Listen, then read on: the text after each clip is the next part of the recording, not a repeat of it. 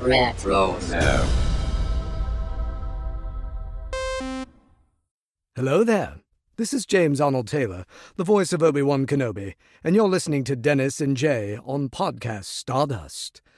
Their behavior is continuously unexpected. Hmm, so uncivilized. This is Podcast Stardust This station is now the ultimate power in the universe. with Dennis Keithley and Jay Krebs. Your behavior is continually unexpected.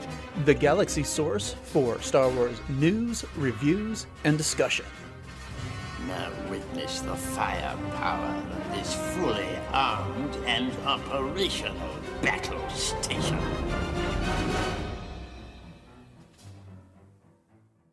Hello, I'm Dennis Keithley, And I'm Jay Krebs. And welcome back to another fully armed and operational edition of Podcast Stardust. This is the galaxy source for Star Wars news, reviews, and discussion. Jay, can you let everyone know where they can find us around the internet? Absolutely. And it's great to be back again. We are on Twitter, Facebook, and Instagram at Podcast Stardust, and we can be reached by email at podcaststardust at retrozap.com. So, this is our weekly look at Star Wars news, and we actually have something tangentially related to the movies to talk about for the first time in a while. Woohoo. And that is that John Williams has been nominated for the Grammy for the score he wrote for The Rise of Skywalker. And more specifically, he's been nominated for Best Score Soundtrack for Visual Media. The Grammys will take place on January 31st, 2021. And as best I can tell, this is the last opportunity for The Rise of Skywalker to pick up any major awards. That makes sense because, you know, as we know, it's been out for almost a year now, December Mhm. 20th.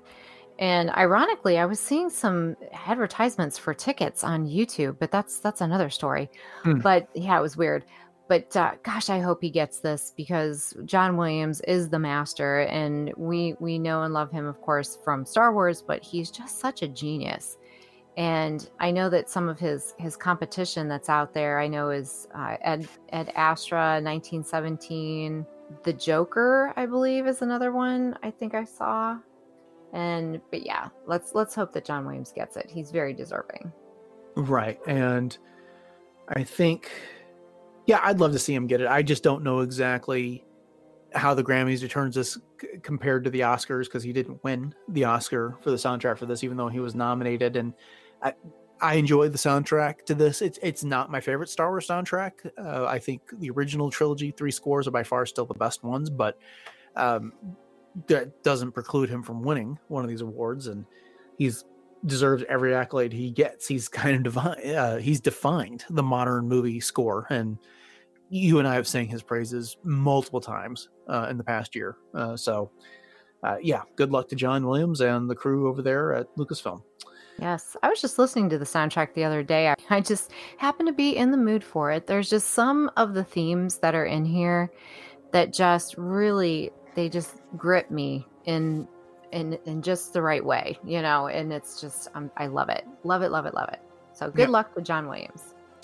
But in other Star Wars music news, the Mandalorian Season 2 Volume 1 soundtrack is now available wherever you stream your music. And so this seems to be the route they're going to go with this season rather than releasing a new soundtrack for every one of the chapters.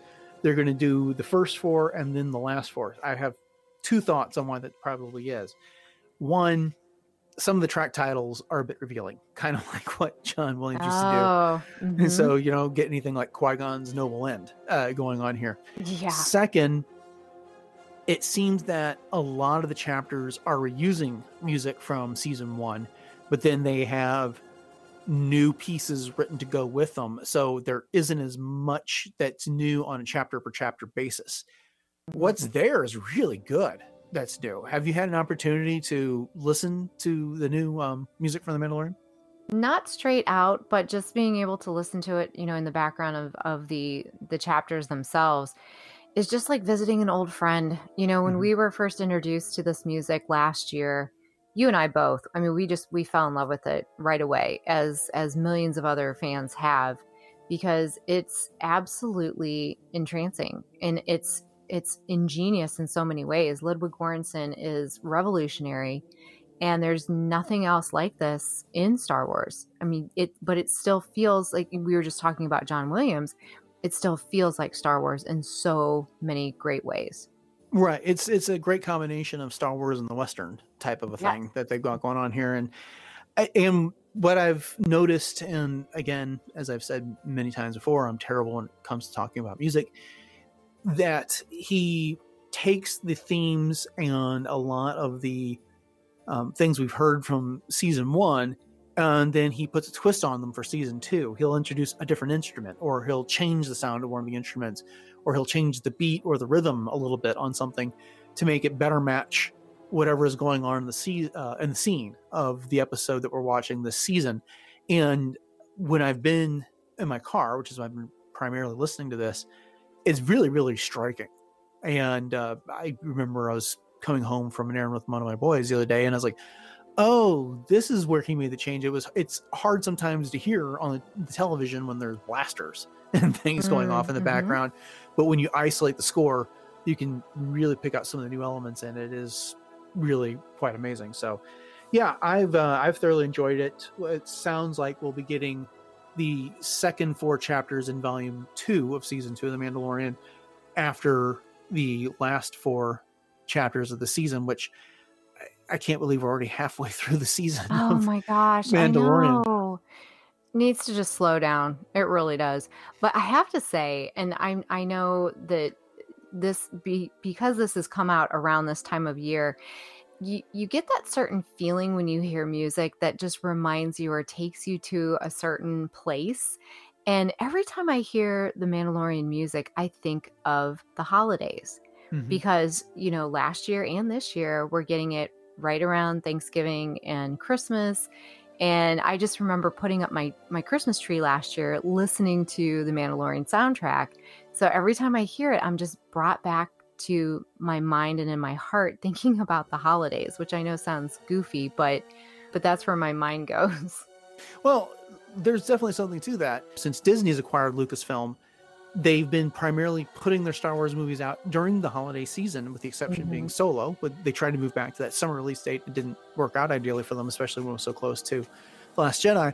But The Force Awakened was during that post Thanksgiving, pre Christmas season. Same with Rogue One.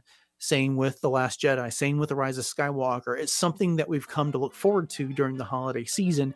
And now The Mandalorian comes out in late October or sometime in November, both last year and this year, as we're preparing or celebrating Halloween, Thanksgiving, and Christmas. It Mhm. goes, Star Wars just goes so well with the holidays, with all that anticipation. And I really love that it's not just the summer blockbuster type material anymore. That'll change. I have to guess when we start getting more series with Kenobi and the Cassian Andor series and the other various rumored series and um, Headlands series that's coming out, they can't all be at the same time of the year. They'll be spread out.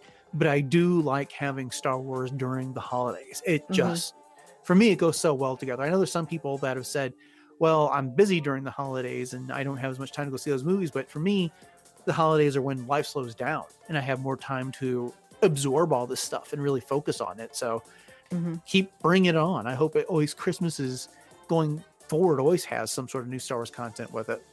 hmm Well, it's funny because you say that, and I used to be that person that would rather have had it towards summer.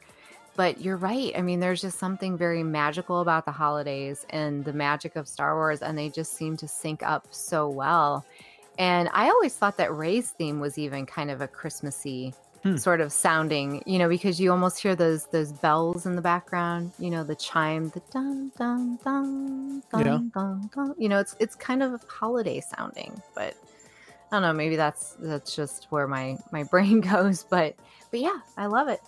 You can certainly mix it with some Christmas music. Sure. It would work out very well. Yeah.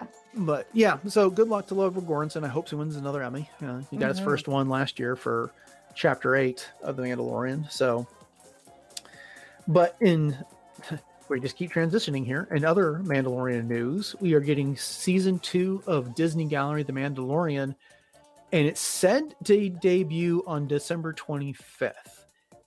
I'm really curious to see how this looks because you and I were big fans of the Disney Gallery series that came out after the first season and the way they were able to explain how they went about putting the show together, all of the motifs and themes that they pulled from the movies, all the inspiration they drew from there, how the directors did the work, how special effects crews did the work. That's when the volume was explained to us and all that type of a thing. But the show was set up primarily with Jon Favreau leading conversations around a round table. Don't know that they're going to have an opportunity to do that for this season of the gallery with coronavirus. I mean, I it's obvious to all of us that that's been out there. So I don't know if they do these via video chats or how it's going to be, but I went into that thinking, oh, we're getting another kind of a director's commentary type of a thing or DVD bonus. But I was one of the most enjoyable kind of bonus content things for a series that I've I've seen. Oh, I agree 100%. And I mean the the whole idea of video conferencing as a roundtable is definitely not out of the question and it just it fits so well with that style of discussion honestly and the Star Wars show has done it with telecommunicating, you know, and doing different interviews and that type of thing. I mean, they did it for Mando Monday. So, I, I, mean, I could totally see this being something like that. And please bring it on because I'm, I, like you said, this was one of the most enjoyable behind the scenes kinds of things that I think I've ever seen of any franchise. And it's just, it's very, you, you get so enthralled with everything that goes on and, and all those behind the scene things. So, with every chapter this, this, year you know this season i think is going to bring even more to that Right. And what'll be interesting for this season is is that the last season of Disney Gallery, we heard a lot about them developing the models and developing the volume and stuff like that. Well, that stuff's all in place now. And so we've seen Mhm. kind of them be able to use this budget and put more of it on the screen as opposed to what is uh, to startup costs, I guess is the way I should say it. And so the things I'm interested in hearing about is Carl Weathers in the direct chair Oh, and. Peyton Reed and some of these new people that are getting direct, uh, direct an episode. We got to hear Jon Favreau talk about creating and writing the series, but now he got to direct an episode of the series. So I want to Mhm. hear what he has to say about that. And then I'm hoping they bring in some of the new stars. Timothy Olyphant, what does he have to say about having worked on The Mandalorian?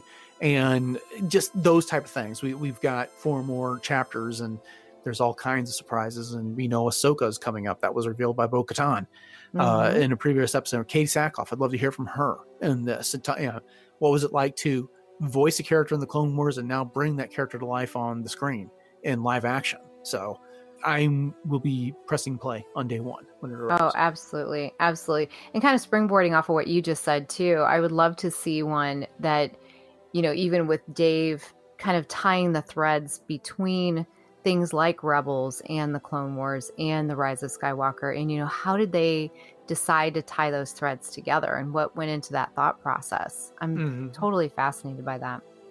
Absolutely. All right. Well, we've got a little bit of book news, and not so long ago, uh, this past summer, you and I talked about the Dr. Aphra audio drama. And just like the Dooku Jedi Lost audio drama before it, it is getting a hard copy edition of the script released this spring. And this will be, again, the script of the show, and it is promising some extra materials, including the dramatis personae in the voice of Dr. Aphra. And you can find this over on StarWars.com. And it is a kick hearing how Aphra describes all the other characters. Have you had a chance to look at her descriptions of everybody? Yes, and oh my gosh, these are so good. Uh, just a few of them Darth Vader, infamous Sith Lord, man of few words, our intrepid heroine's terrifying boss. It's just so great, so great. Padme Amidala, the good former queen and senator of Naboo. Just so wonderful. And of course, you know, we we went through this audio drama back when it first came out and Sarah Kuhn, I know, has just been tickled pink with the reception of mm-hmm. the audio drama and and rightfully so because Dr. Aphra, I've said it before and I'll say it again, she is the Star Wars character I never knew I always wanted. And so this is just so exciting to be able to get this in actual hardcover, and it is available for pre-order now. So I'm definitely going to be doing that. Yeah, some of my other favorite descriptions were Sana Starros, smuggler, unfortunate dreamboat, working with rebels for some godforsaken reason. Han Mhm. Solo, reformed scoundrel, always claims to save the day, actually useless. So, I- yeah, they're great. yeah, Korin Aphra, our intrepid heroine's father, obsessed with excruciatingly boring Jedi stuff. So it's a lot of um, a lot of great takes on Aphra's character and the way that she would think about people. So yeah, this is definitely one I'll be picking up, and I'm sure I'll be reading it along with listening to the performance again because I just enjoyed it that much. Oh, for sure. All right, well, we've got a couple other stories left to go. Um, we've been talking about the Star Wars Squadrons game that came out on Electronic Arts, and one of our big interests was uh, the role that Vanessa Marshall played with uh, bringing Syndulla back to life. But the game is been getting some updates, mainly in the form of tweaks to gameplay and bug fixes and things like that. But there's a couple of bigger updates coming both uh, this month and next month. Now, one of them went live today while we're recording this and that is the introduction of the Fostar Haven for fleet battles and dogfight mode. This was one of the very early stages that kind of serves as the tutorial. You get to attack it as part of the Empire, and then you get to fly to its rescue as part of the Rebellion. And it's how you learn to use TIE fighters and X Wings and stuff like that. But it is a cool location, so it is cool to see that they're adding it for the purposes of fleet battles and dogfighting. I know Jay in the past you've primarily watched either one of your boys play the game or you've seen the YouTube clips of the story, but have you had a chance to play it any or are you familiar with this territory? I haven't had a chance to play, no, but I do appreciate all of these new additions. And I know Colby One has been working a lot, so he actually hasn't been playing a whole lot either. But I do like how they worded this when they said, you know, December will bring some of our most requested content to date, providing a nice final thank you gift for the holidays via update 4.0. So I just I think that that's that's really awesome that they're you know doing that and bringing these B wings and tie defenders and all these Yeah. other things in here. It's really cool. Yeah, you jumped the gun there. The, so the second Sorry. update comes in December, and that brings the B Wing and the TIE Defender to the game, which is really cool. I wasn't sure why they left the B Wing out of the game in the first place. And logically speaking, the TIE Defender should have been in there as well, uh, because that was obviously part of the Imperial fleet, although to a much smaller degree at this point in the timeline of Star Wars, because it kind of vanished when Thrawn disappeared. But I really love in the update that they've given here that they make sure to mention that the B Wing was developed by Quarrie and that the TIE Defender was the pet project of Admiral Thrawn before he disappeared. So Mhm. they've already incorporated Rebels, and we've got the stuff that Charles Wendig did with the Aftermath series in coming up in the future. So there's these obvious tie-ins there, but they really are keeping a tight leash on canon and incorporating it into this game as, as opposed to just kind of developing their own and just throwing brand new starships that nobody's ever heard of into this. They, are, everything has come from someplace. hmm And that makes total sense that they would do that. And and I love that the B wing is being brought into it too, just because the fact that we know from Rebels that this was Hera's baby. You know, she was the one that brought it to the rebellion in the first place. So it just makes total sense that they would incorporate that into the game. Yeah.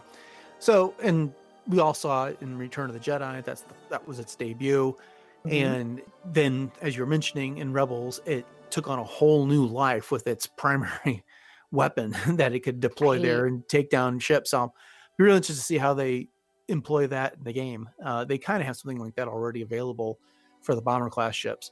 I haven't played a lot of squadrons recently, simply because I'm not much of a player versus player type of person. I prefer to play cooperatively, and that's been fun.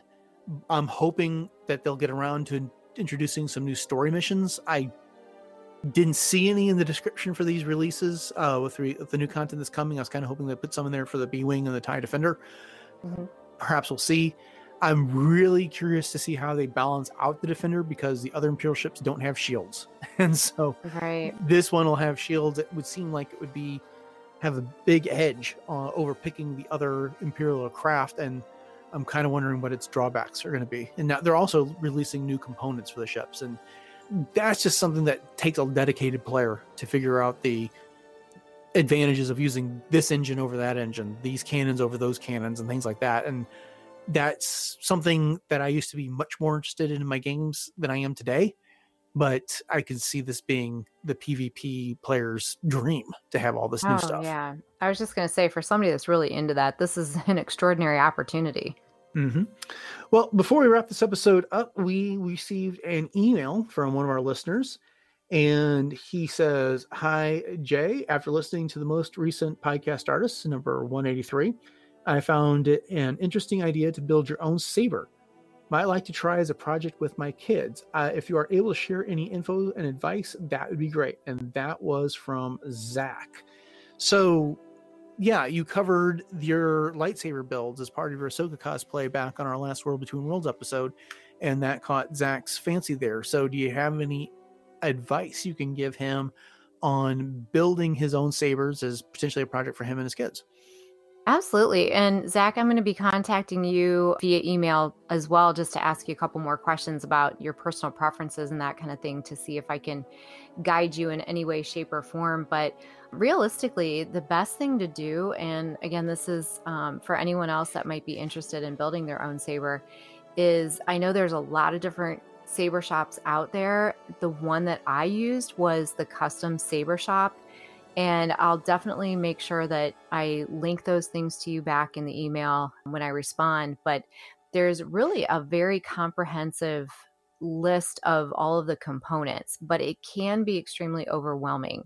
So I'm going to say right now to you and to anybody else who is wanting to do a very simple build, you might want to reach out on the forums to find out what are some of the kind of ideas for kits to put together because there are literally hundreds of different components to choose from on the website and it can be extremely overwhelming. So the best thing to do is just to reach out to those forums, watch some of the videos on their YouTube channel because that will give you an idea of kind of which direction you might want to go when you're thinking about putting together the type of saber that you want because you can construct your hilt piece by piece. And if you're looking for something that's um, more of an all in one kind of hilt that's already put together, you might want to go to a different website or another route, such as Etsy, which is what I did for the 3D prints. If you want something a little bit more stable, there's a, a few different websites to choose from as well. So, again, the Custom Saber Shop is a great, great resource and I'll be getting in touch with you to see what your specific needs are, and I will definitely help you any way I can. So, thank you so much, Zach, for reaching out. And that's a great project for you to do with your kids. Absolutely. All right. Well, then that brings us to the end of episode 185. I'd like to thank you all for listening to another episode of Podcast Stardust and our discussion of this week's Star Wars news. I'd also like to remind you that we are part of the Retrozap Podcast Network, and you can find all episodes of Podcast Stardust over on retrozap.com. You can also subscribe to Podcast Stardust on your podcatcher of choice, including Apple Podcasts, Stitcher, Spotify, Overcast, Amazon Music. You name it, we should be there, including the Retrozap podcast feed. Also, we are now available on Audible. Audible had been uh, allowing people to listen to a very curated set of professional podcasts, but now they've opened it up to thousands of other podcasts, including us. So if you are enjoying listening to your books on Audible, you can also listen to Podcast Stardust there. Just a few more thoughts before we go. Please head over to Apple Podcasts and leave us a rating and review if you haven't done so already. We really appreciate those. They help others notice the show. And if that's not your thing, we would just appreciate it if you could spread the news about the show by, via word of mouth or with a social media share on your social media platform of choice. And with that being said, Jay, if you can remind everybody where they can find us on social media and around the internet one more time. Absolutely. We are on Twitter, Facebook, and Instagram at Podcast Stardust. And if you'd like to reach out to Dennis on Twitter, he is at DJKVER2, and I'm at Joyce Krebs. You can always check out our Pinterest page and our YouTube channel. And you can always email us your thoughts, as Zach did, on Podcast Stardust at retrozap.com. And if email is just not your thing, you can always join us on our Discord room on the RetroZap Discord server. We are just one of a lot of different rooms over there. All the RetroZap shows have their own room, and there's also dedicated rooms to The Mandalorian and Star Wars lore and just some really fun things. So check it out. Just go to the community tab on our show page, and that will take you right to where you need to go. And last but not least, we are also on T TeePublic. And with the holidays coming, why not get somebody some podcast Stardust swag or maybe for yourself? We are teepublic.com slash user slash podcast Stardust. And you can grab everything from stickers to coffee mugs, masks, t-shirts, sweatshirts, phone cases, all kinds of great stuff and home goods. And thanks to Corey Club from Coffee with Kenobi for producing all of those great show logo designs. All right, that's it for episode 185 of Podcast Stardust. Thanks for listening, everyone, and until next time, may the Force be with you.